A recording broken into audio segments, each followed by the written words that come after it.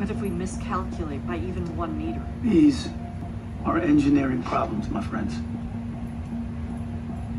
And we are engineers. Shall we begin?